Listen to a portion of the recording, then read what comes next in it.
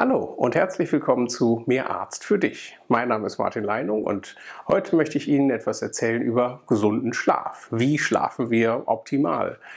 Ähm, 23 Jahre unseres Lebens verbringen wir im Schlaf. Und man sagt mittlerweile, wobei das von Mensch zu Mensch unterschiedlich ist, dass ungefähr sieben Stunden Schlaf pro Tag das Optimum für einen Erwachsenen darstellen. Im Schlaf wird unser Gehirn neu organisiert. Wir speichern Erinnerungen und Erlebtes ins Langzeitgedächtnis. Ähm, es hilft uns auch Probleme zu lösen. Das ist mittlerweile wissenschaftlich nachgewiesen. Und auch der Körper erholt sich im Schlaf. Zum Beispiel funktioniert Wundheilung besser, wenn wir äh, gute Schlafphasen haben. Wir erholen uns also an Geist, Körper und Seele. Aber wie schläft man richtig? Ähm, da gibt es mehrere Tipps. Und die Vorbereitung eines guten Schlafs beginnt schon am Nachmittag und am Abend. Wichtig ist, wir sollten versuchen, keine Schlafmittel zu nehmen. Versuchen Sie auf Nikotin zu verzichten. Nikotin ist anregend und genau das wollen wir nicht, wenn wir gut schlafen wollen. Ungefähr vier bis acht Stunden vor dem Zubettgehen, je nachdem wie empfindlich Sie darauf sind, sollten Sie keinen Kaffee mehr konsumieren. Ähm, des Weiteren kein Alkohol. Vier Stunden vor dem Zubettgehen. Alkohol hilft einem zwar schneller einzuschlafen, aber es stört die Schlafarchitektur, das heißt unsere normalen Ablauf der Schlafphasen.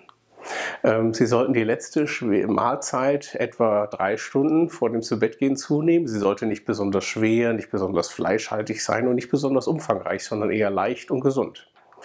Ähm, wenn Sie später noch etwas essen oder trinken möchten, äh, dann sollten Sie Wasser zu sich nehmen oder Milch, eine Milchmahlzeit oder einen leichten Keks, aber nicht schwereres.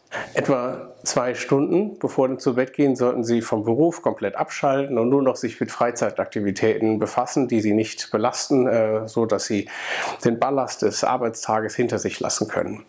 Und maximal eine halbe Stunde vor dem zu Bett gehen sollten Sie sich mit einem gewissen Ritual befassen. Das kann sein, dass Sie die Kinder zu Bett bringen, gucken, ob die Kinder schlafen, nochmal die Türen verschließen, ähm, ein Abendgebet, was auch immer Sie in Ihren Tagesablauf integrieren möchten. Machen Sie ihre Routine, denn je regelmäßiger sie etwas machen, umso mehr gewöhnt sich auch ihr Körper an die regelmäßigen Schlafphasen. Wichtig ist auch, dass man ungefähr zur selben Zeit zu Bett geht wie sonst auch. Auch am Wochenende sollte man die zu Bett geh- und Aufstehzeiten nicht mehr als 30 Minuten nach vorne oder hinten schieben. Das Schlafzimmer sollte eigentlich selbstverständlich ein Ort der Entspannung sein, aber ähm, nicht immer gelingt das. Man muss mehrere Punkte beachten. Relativ offensichtlich, Dunkelheit und Ruhe, sofern man das beeinflussen kann. Wenn ich von außen eine Straßenlaterne hineinleuchtet, braucht man vielleicht mehr Sichtschutz vor dem Fenster. Die Ruhe ist wichtig. Es wird empfohlen zwischen 16 und 18 Grad Celsius, also ein eher kühler Raum, aber sollte nicht kalt sein. Sie müssen die Heizung nicht vollständig ausstellen und die ganze Zeit das Fenster auf Kipp haben. Das könnte ja auch wieder zur Lärmbelästigung von außen beitragen. Aber wichtig ist, dass der Raum gut gelüftet ist, wenn Sie sich zu Bett begeben. Sie sollten sich nicht beengt fühlen. Das heißt, die Schlafkleidung sollte nicht eng sein, sondern leicht und locker. Genauso auch die Bettdecken eher leicht auf ihnen liegen. Natürlich warm genug sein. Und Bett und Matratze sollten auf Sie, auf Ihr Alter, auf Ihr Körpergewicht und eventuelle ähm, Einschränkungen des Bewegungsapparates eingestellt sein, damit Sie gut liegen und wohl schlafen. Was nichts im Schlafzimmer zu suchen hat, sind Dinge, die mit dem Beruf zu tun haben, so dass Sie sich doch noch damit beschäftigen. Spannende Unterhaltung wird nicht empfohlen. Sie sollten keinen Horrorschocker oder einen Krimi lesen, sondern eher ähm, seichte Literatur, irgendwas Unterhaltsames.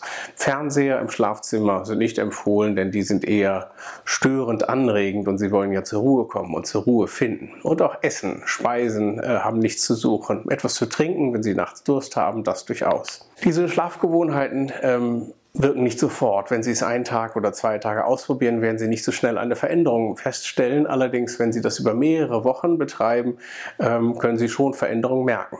Und von diesen Punkten, die wir in der Liste aufgeführt haben, werden Sie vielleicht nicht alle umsetzen können.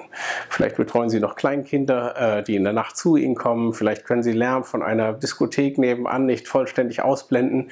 Dann nehmen Sie Lärmschutz, versuchen Sie, was geht. Und auch einzelne Maßnahmen in Kombination können schon helfen, dass Sie zu einem tieferen und gesünderen Schlaf finden. Was, wenn ich nicht einschlafen kann? Wenn Sie länger als 30 Minuten sich im Bett aufhalten und nicht einschlafen können, dann stehen Sie ruhig auf.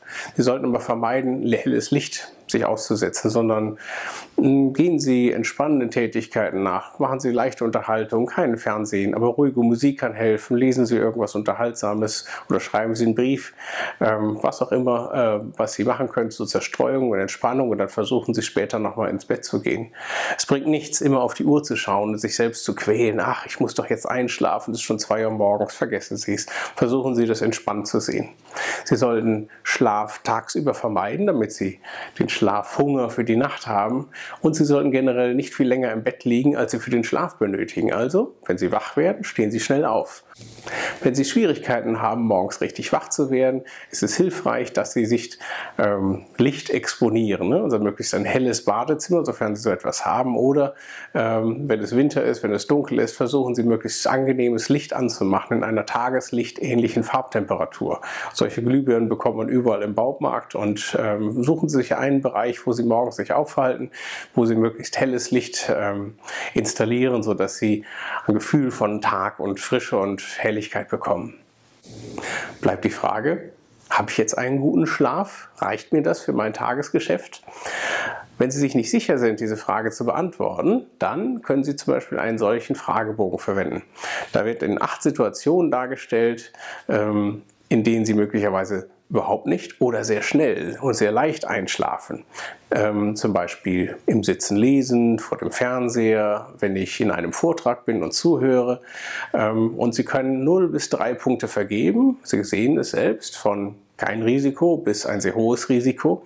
Und Sie markieren all diese Punkte und zählen nachher die Summe der von Ihnen angekreuzten Felder dann zusammen. Und wenn Sie 0 bis 6 Punkte haben, bedeutet das im Prinzip, das ist ein Normalbefund, das darf sein, Sie sind nicht übermäßig tagesmüde. 7 bis 9 Punkte bedeuten, Sie haben eine erhöhte Tagesmüdigkeit.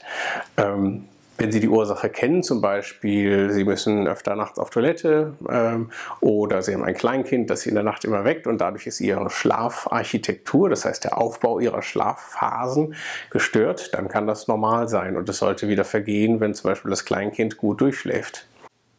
Wenn Sie 10 Punkte haben oder mehr, dann liegt bei Ihnen eine krankhafte übermäßige Tagesmüdigkeit vor. Diese sollten Sie vom Arzt untersuchen lassen. Zu wem sollen Sie hingehen? Ich würde vorschlagen, zu einem Hals- und Nasen-Ohrenarzt, der idealerweise auch Schlafmediziner ist. Oder Sie lassen sich von Ihrem Hausarzt zu einem Somnologen, so heißen diese Schlafmediziner, direkt überweisen. Ich hoffe, diese Tipps und Ratschläge und Informationen haben Ihnen geholfen, sich ein bisschen über das Thema zu informieren. Vielleicht finden Sie jetzt zu einem besseren und erholsameren Schlaf. Vielen Dank für Ihr Interesse. Ich freue mich, wenn es Ihnen gefallen hat und wir freuen uns natürlich auch besonders über einen Daumen hoch. Abonnieren Sie gerne den Kanal und hinterlassen Sie uns Ihre Fragen und Kommentare unter dem Video. Was interessiert Sie noch? Wo wollen Sie mehr wissen? Herzlichen Dank, machen Sie es gut, bis zum nächsten Mal.